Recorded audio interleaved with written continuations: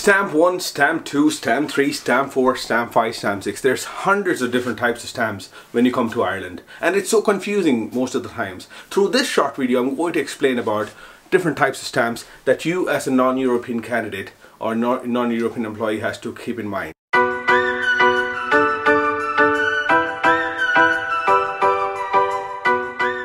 I've explained all different types of stamps in this simple portrait here. So I'm going to po post this picture in the end of the video so you can actually read through it um, and um, it explains every single details. The nine different types of stamps in Ireland. First one is stamp zero. It's a temporary period stay where you have you have to have your own private medical insurance uh, as well as you cannot receive any benefits or use any public funded services. That means you can't use any public hospitals. As well as you should be you should be financially independent to have this stamp zero. When you have stamp 1, you can work under work permit. You should never forget to renew your stamp 1 visa or stamp 1 before the expiry. Please understand that this stamp 1 is reckonable as residence when you're applying for Irish naturalization. Let's talk about Stamp 1A. Stamp 1A is permission in full-time paid accountancy training. During the Stamp 1A, you can study accountancy as a trainee as well as you can be employed as a trainee accountant. Also, you must not engage in any other businesses. The next stamp which I'm going to talk about is called Stamp 1G. That is the most sought out questions which I which I've been receiving for the last many weeks. So Stamp 1G has been categorized into two where one stamp where if you're a student that applies to two people. One is students as well as uh, second uh, second is the spouses of critical skills work permit which I'll be talking in later stage. So if you're a student currently holding stamp 2 or stamp 2A and, and finished your studies you have and you have the permission to work to look for work. So if you're a student, you're here in Ireland um, studying your degree or master's, and after that you'll be allowed to have a stamp 1G, where um, students can work up to 40 hours per week. The second thing, we on 6th of March 2019, critical skills uh, employment uh, permit, critical skills work permit holders, spouses can apply for stamp 1G as well. No need for spousal dependent work permit anymore. Previously, spouses of um, critical skills work permit had to apply for spousal dependent work permits. From 6th of March, they have taken that away. So uh, critical skills work permit holder spouses can apply for this stamp 1G, but they're not permitted to operate business or they can't be self-employed.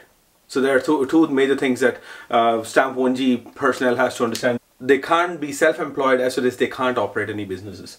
Another stamp which I'm talking talking about is stamp 2A or stamp 2 it is study full-time. If you're coming here to study full-time you can work up to 20 hours per week during the school school hours as well as 40 hours per week when you are on holidays. There's another subcategory it's called uh, stamp 2A where you're not allowed to work. If you're coming to study you're basically going to study that's all Stamp 3 is uh, you can stay in Ireland. This is mostly the spouses when they come from India or Philippines or any other non-European countries. You'll be issued on the Stamp 3 visa where you can stay in Ireland. You cannot work. It's only basically for family reunification.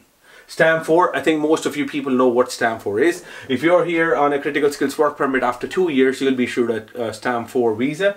And uh, during that, you can uh, you can take any employment without any work permit. You don't need any work permit anymore, as well as you can establish any businesses. So if you if you like to establish a business, wait till stamp 4. Stamp 5 is uh, stamp 5 and stamp 6 is very rare where uh, permissions to stay in Ireland without any limits on the time. You can remain in Ireland until your passport expires. Stamp 5 it is. Stamp 6 is about Irish citizens who hold dual citizenship. That doesn't apply for uh, people from India. It um, people from Philippines can actually hold dual citizenship. That's what I've heard. That stamp 6 will be applicable to people those who hold dual citizenship. So guys, I'm going to recap again. The uh, stamp zero is actually temporary period stay. As I said, you have to hold a private medical insurance because you cannot access any publicly funded services. That means you cannot access any public hospitals. You should be financially independent. Stamp one is you can work under stamp one, but you have to remember that you have to renew it every single year. Stamp 1A is you have permission uh, to stay here full time, but you're here to study accountancy as a trainee or be employed as a trainee accountant. but you should not engage in any other businesses. Stamp 1G is one of the sought out stamps as I, as I mentioned earlier on which which applies to two different uh, uh, category of people. One is critical skills work permit holder spouses as well as students. If you are a student and you came here to do uh, your degree your master's after your college period you will be issued stamp 1G where you can work up to 40 hours per week. And again on 6th of March critical skills work permit holder uh, spouses can apply for stamp 1G no need for spousal dependent work permit going forward. But you're not permitted to operate any business or you cannot be self-employed. One thing you have to understand if you hold stamp 1g you have to renew it annually and after five years you will automatically be issued with stamp 4 now I want to talk about stamp 2 where stamp 2 is focused on students where you can you have to be here studying full-time. During your college hours you can do 20 hours per week and during your holiday period you can work up to 40 hours per week. Stamp 3 is focused on family reunification. You can uh, stay in Ireland, but you cannot work under any circumstances. Stamp 4, I think most of you people know what Stamp 4 is. If you are here with critical skills work permit, after two years you will be automatically going into Stamp 4, where you can take any employment. You, you don't need any work permit, as well as you can establish your, your own business. Stamp 4 also applies for spouses of Irish citizens.